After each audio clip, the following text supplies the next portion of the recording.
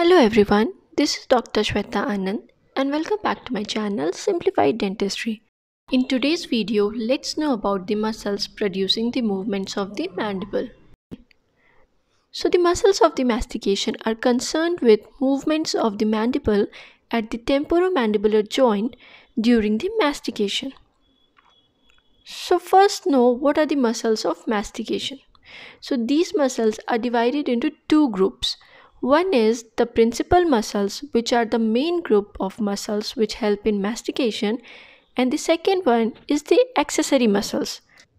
So these muscles do not directly help in the mastication but this aids the principal muscles in the mastication. The principal muscles of mastication are temporalis, masseter, lateral pterygoid and medial pterygoid. Now let's see about the accessory muscles. So there are a lot of accessory muscles like the buccinator, suprahyoid muscles and infrahyoid muscles. But it is not important to know about all these muscles. So the accessory muscles of mastication which you need to know are buccinator, digastric, mylohyoid and geniohyoid.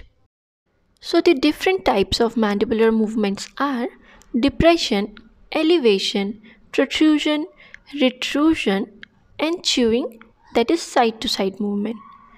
So now let's know one by one that which muscles help in which type of the movement. First let's have a look on the elevation and depression of the mandible.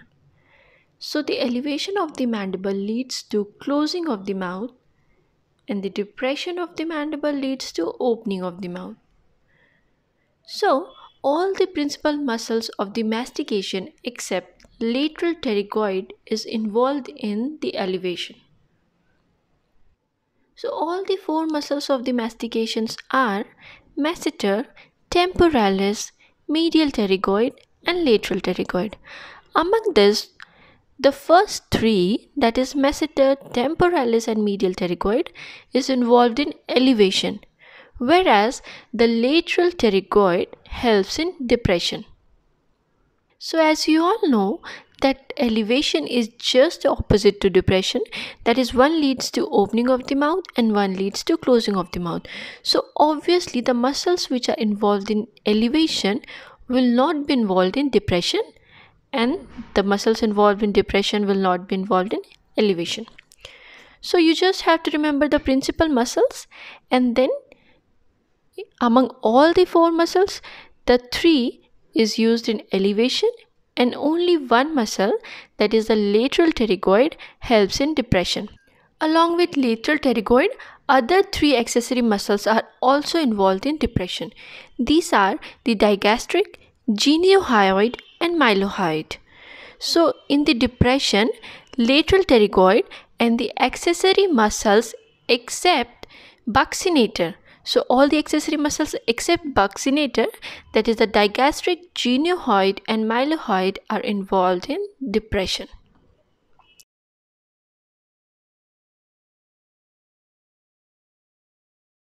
Along with all these muscles, gravity also plays a major role in the depression of the mandible. Now let's see about the protrusion and the retrusion.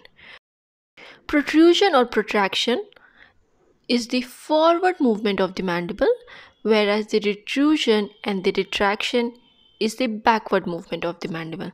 Okay? So the protraction is caused by the medial pterygoid and the lateral pterygoid. So simply you can remember that P stands for protrusion and P stands for pterygoid muscles. Now come to retrusion. So the retrusion of the mandible is caused by the posterior fibers of temporalis. So you can remember that temporalis causes retraction of the mandible. Now come to the side to side movement or the chewing. So during the chewing, the medial and lateral pterygoid muscle of one side contracts alternatively with that of the opposite side. Okay, so it is the pterygoid muscle which helps in the side to side movement that is the chewing of the mandible. So the pterygoid muscles not only help in protrusion, it also helps in side to side movement. So, I have summarized the movement of the mandible and the muscles producing them in this tabular form. Hope this video was helpful and it helps you to memorize the muscles involved in the movement of the mandible. Thank you for watching the video. If you like the video, then please like, share and comment down below. And if you want more such contents, then please subscribe to the channel Simplified Dentistry.